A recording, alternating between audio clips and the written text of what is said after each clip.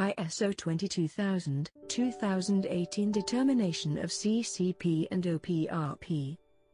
Decision Tree If you are working related to Food Safety System certification, the decision tree or determination of CCP and OPRP would not be new thing. Sometimes you may be confused with this section.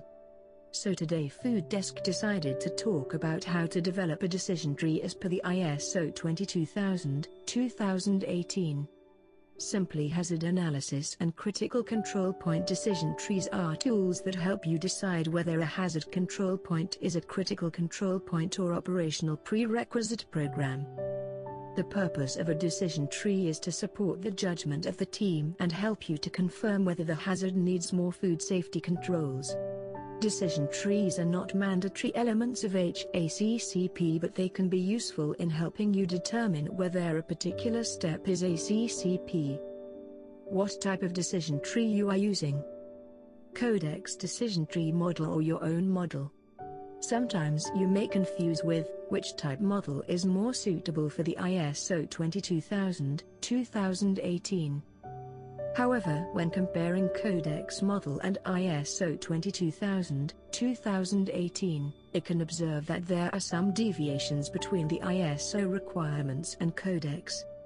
Here is what ISO 22000, 2018 explains about selection and categorization of control measures. Source, ISO 22000, 2018 Food Safety Management Systems, Requirements for any or organization in the food chain. Here is the decision tree model created by Food Desk with references to ISO requirements, so you can try this decision tree for ISO 22000, 2018. Below decision tree model is applied for the significant hazards and questions are as follows.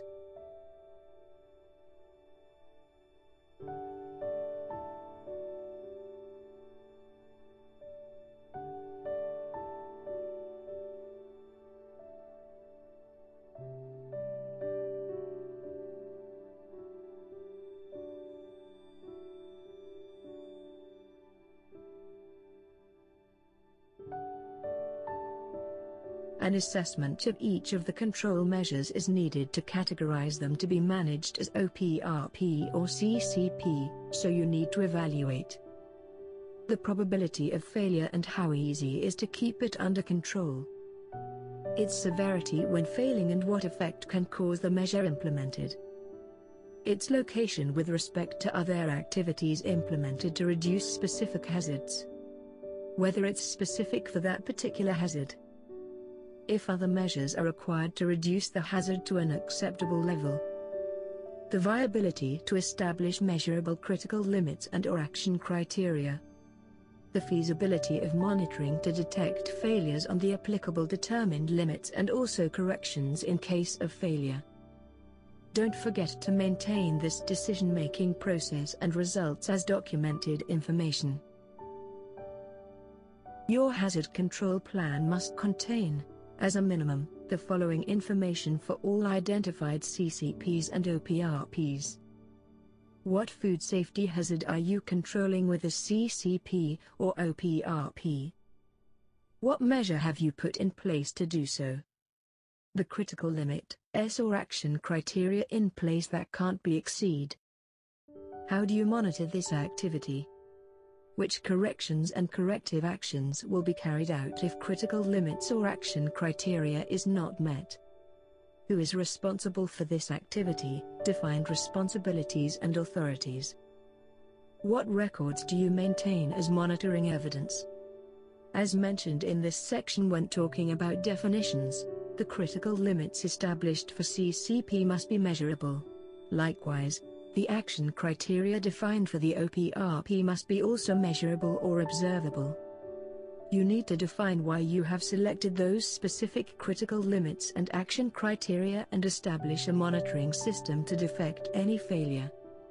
If visual inspections from staff are implemented as a monitoring system for a specific OPRP, you need to define what instructions or specifications were provided to personnel in order to ensure the system will be effective.